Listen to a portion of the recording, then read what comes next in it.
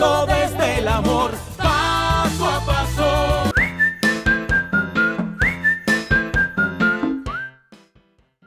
Está en nuestra práctica hoy Elisa Echavarría, ella es desarrolladora de apps o de aplicaciones. Elisa, ¿cómo es. estás? Hola, muy bien, muchas gracias. Bienvenida, Lisa. ¿Mamá Muchas Elisa o gracias. no? Sí. Todavía no. Sí. De dos. De dos. ¿De quiénes? Sebastián de tres años y María del Mar de un mes. ¿Planeados María del Mar ambos? de un mes. María del Mar de un mes. Eh, sí, muy planeados. ¿Un mes? Sí, un mes.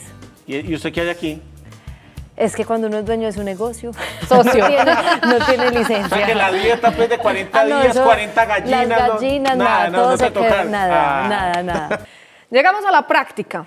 Y en la práctica, eh, hoy queremos tener a, a Elisa, como les contaba, desarrolladora de aplicaciones y ha desarrollado una específicamente eh, para aprender a controlar un poco esos ciclos de ovulación y saber cuándo tener relaciones con menos riesgo que, en fin, Y no, poder ella es la planear el experta, sí. embarazo. Planearlo. Sí, O- la idea o es planear el no embarazo. O evitar unos no planeados. ¿Cómo se llama la aplicación? Esta es una aplicación de INSER, un instituto de fertilidad humana. Insert. Insert. Y es para que para saber cuándo insertar.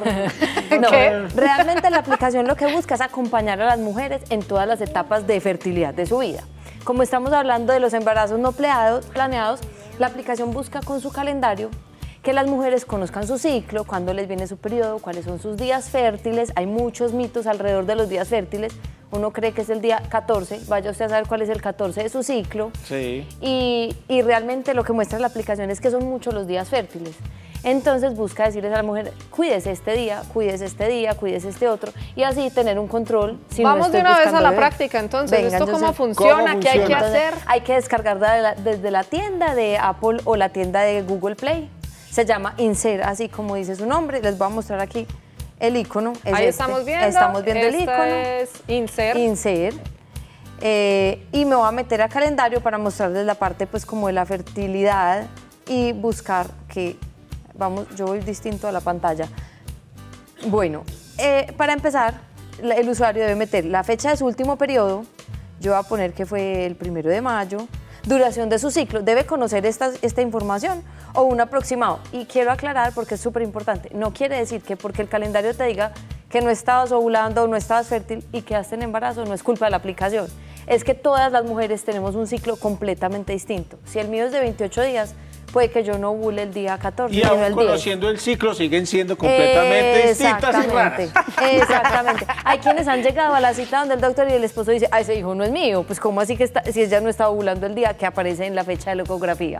Entonces es muy importante que uno no se confíe pues de la de, Es una de guía, cualquier ¿no? calendario. Es una aproximación a nuestro ciclo menstrual, pero nadie mejor que Eh, nosotras mismas para conocer el cuerpo. Exactamente. Entonces ya te dice, ¿estás buscando bebé sí o no? Si no estoy buscando, entonces ya en el calendario me va a mostrar los días de periodo. Espérate, y- espérate que la volvamos a tener ahí para que Si no uno nos está vamos buscando, lo puede buscar en Google. Devuélvete, devuélvete el paso. Me- Eh, eh, aquí está la información, eso, fecha ¿estás del periodo. buscando bebé?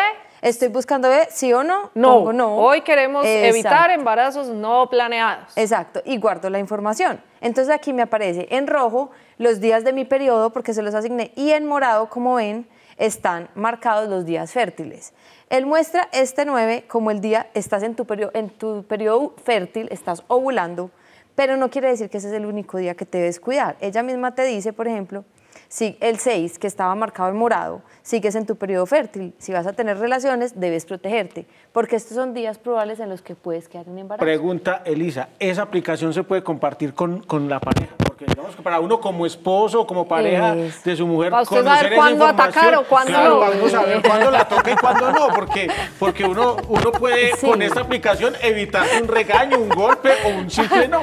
No, claro, porque es que es además entre los dos. Exacto, Sí, es una responsabilidad de eso los no dos. es solo de uno. La pueden bajar cualquiera de los dos y ella tiene unas alarmas, si yo le quiero activar o no, para que me diga eh, cuando estoy ovulando. Entonces me avisa, entonces le digo al esposo, pues cuídate, cuídate, Sí, no, no, ahí mismo la- alejémonos. el antivirus. Esta, aplicación llega hasta ahí, el alcance de solamente días fértiles y días en Di- los que mm, hay que tener menos cuidado o cuáles son los alcances Mm, reales de la aplicación. Los alcances reales también están enfocados a la parte de fertilidad, conocer un poquito quién es INSER, qué hacen en INSER, cuáles son los mitos y realidades alrededor de la fertilidad e inferti- o infertilidad. Ese será otro programa entero de paso a paso que tendremos prometido fertilidad. Pero lo importante es que si no quiere cargar Eh. sin planeación, es mejor descargar la aplicación. para no Exacto, mantenga el control de su periodo, el control, uno conoce su cuerpo, pero tenga un control y tiene unas alarmas, que es la otra parte pues como muy importante de la aplicación, entonces te recuerda, estoy o no ovulando, estoy o no fértil. Ah, ¿y, qué- suena o qué? Sí, te tiene una alarma, entonces yo le digo, activo, por ejemplo aquí, voy a ver si me funciona estando, ah bueno, para allá. Eh, yo activo las alarmas, entonces le digo guardar. Ovulando, Y ovulando, ella, ovulando. y ella me dice, su, su alarma ha sido activada, ¿cierto? Entonces ya, yo la programé para que me avise todos los, el primer día que empieza mi periodo fértil, para que me ah, suene. Entonces me dice, periodo fértil Richard, ha si suena la alarma y usted ni por el diablo ha contemplado tener un hijo, aléjelos a todos. váyase. Ah, ¿Y cómo, cómo es la alarma? Porque en, español la aplicación es app, ¿cierto? En inglés Sí. es como es la alarma. ¡Ey, pipi, ey, pipi, ey, pipi! No, te sale, te sale. App en inglés, no. yo solo lo dije en Esa- inglés. app. App, ey, pipi. Estoy hablando en inglés. La- ¿Cómo estás de gringo? Estoy eh? hablando en inglés.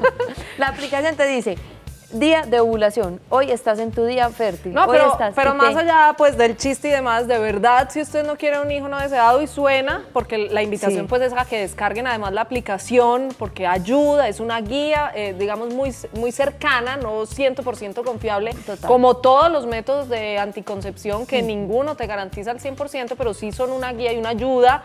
Eh, si no está buscando, pues aléjese, evite tener relaciones sexuales. Y si está buscando, pues haga la tarea. Aproveche. Juicioso en esos días en que suena la alarma, tin, tarea. sí, lo mejor, en caso tal de que usted, lo mejor es coger el celular o la tablet y póngala aquí encima y con eso tiene. Active las alarmas. Active la alarma Active las alarmas, No, no, sí. no. Elisa, muchísimas Listo. gracias. Gracias a Eh, por la importante, invitación. recordemos rápidamente cómo se llama, dónde se descarga. Insert en la tienda de Apple y de Google Play. Insert. I-N-S-E-R. Perfecto, ahí se configura, no es sino seguir los datos, es muy, muy intuitiva, muy instintiva. Muchas gracias, Fede, despídete, mira, allá. Ah, ¿Con cuál cámara está Fede? Allá. ¡Chao, Federico! Construyendo desde el amor, paso a paso.